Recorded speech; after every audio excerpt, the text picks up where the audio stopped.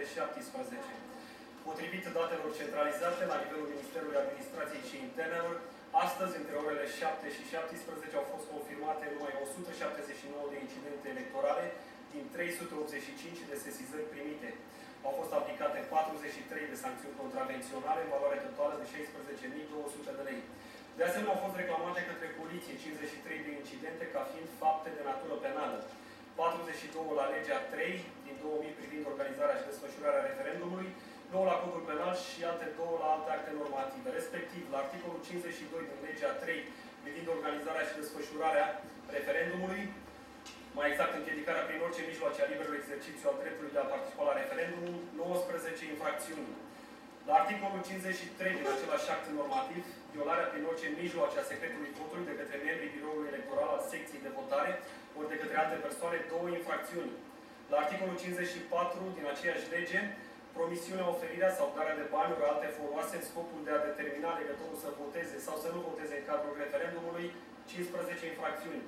La articolul 55 din același act normativ, tipărirea și utilizarea de buletine de vot false, introducerea în urmă unui număr suplimentar de buletine decât cele votate de alegători sau falsificarea prin orice mijloace a documentelor de la birourile electorale, 6 infracțiuni. Menționăm că majoritatea incidentelor electorale sesizate s-au produs în mediul urban, 219, majoritatea reprezentând un procent de 63%, fiind primite prin apelul de urgență 112. Cele mai multe sesizări s-au înregistrat în municipiul București, 92, în județele Dâmbovița 37, Mialovița 22, Buzău 20, Brașov 19, Constanța și Vrancea cu câte 16. Dar cele mai multe infracțiuni au fost constatate în județele Vrancea, 10 infracțiuni, Constanța 6 infracțiuni, municipiul București 5 infracțiuni, Galați 4 infracțiuni.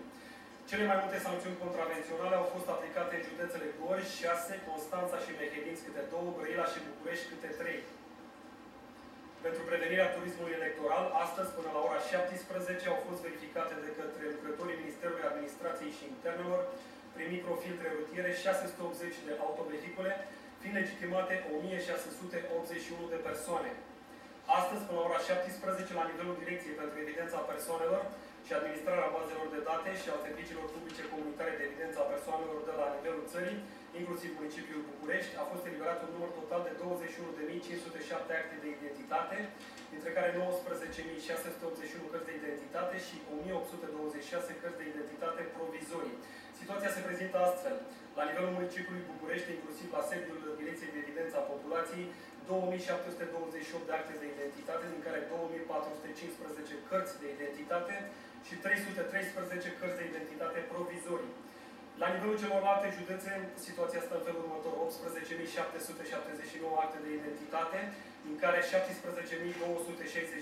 cărți de identitate și 1.513 cărți de identitate provizorii. Menționez că, potrivit statisticilor date, date de către Direcția pentru Evidența Persoanelor și Administrarea Bazelor de Date, la nivelul întregii țări, 22.606 de persoane nu au drept de vot.